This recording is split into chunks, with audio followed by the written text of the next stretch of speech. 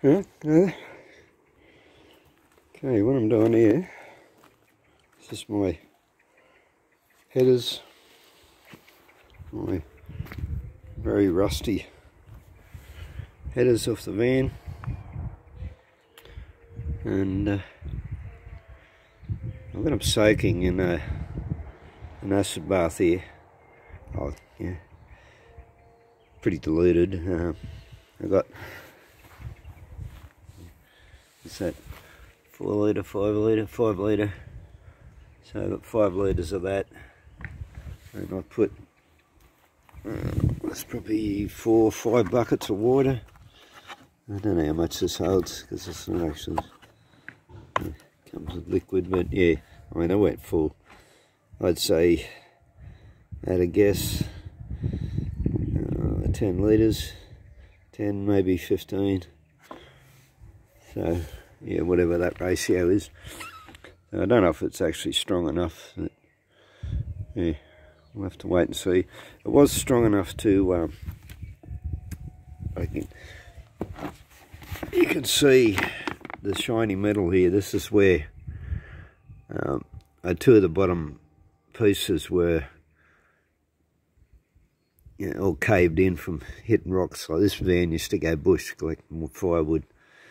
And uh, yeah, being lowered, it wasn't really that suitable for the job. But yeah, so these were all caved in. So I cut out sections of them and I replaced them with another bit of you know, a section of exhaust tube. And it's it was strong enough to eat all the aluminium off. Like the exhaust tube comes with an aluminium coating.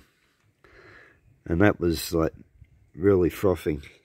You might be able to see a couple of bubbles still, but yeah, that, that was really clouding right up. So it must have just about eaten all that away already. So yeah, hopefully it's strong enough. And uh,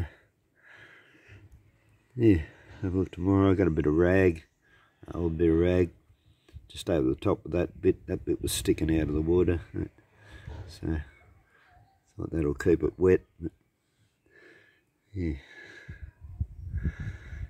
Anyway, I said it doesn't appear to be doing very much at the moment. It's only been in here uh, 15, 20 minutes. But uh, yeah, we'll see how it goes and I'll keep you posted. If it doesn't appear to have done very much tomorrow, I'll buy another five litres of hydrochloric acid and yeah, strengthen it up a bit. And, uh,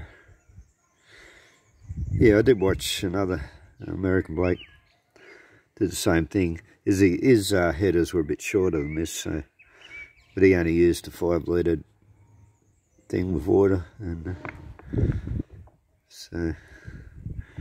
But yeah, as I said, my headers are a bit longer than the ones he had, so obviously it's taken more water, so it's yeah, a bit more diluted.